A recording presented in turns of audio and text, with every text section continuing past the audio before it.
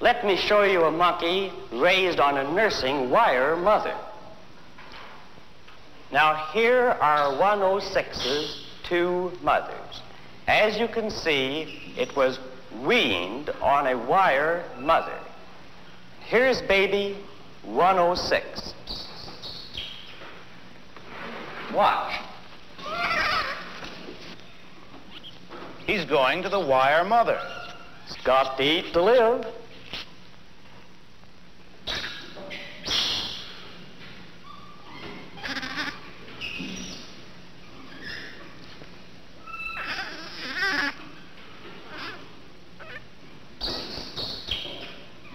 Oh, he's going back.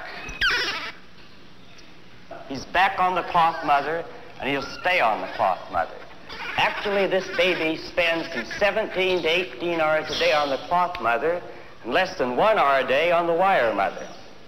We had predicted that the variable of contact comfort would be a variable of measurable importance, but we were unprepared to find that it completely overwhelmed and overshadowed all other variables, including those of nursing. Frankly, Doctor, if it comes to a choice between wire and cloth, it's reasonable to expect that any child will go to the cloth. It's a matter of creature comfort, like a baby with its blanket. But is this really love? Well, what do you mean by saying that a baby loves its mother? Certainly, one thing we mean is that it gets a great feeling of security in the presence of the mother.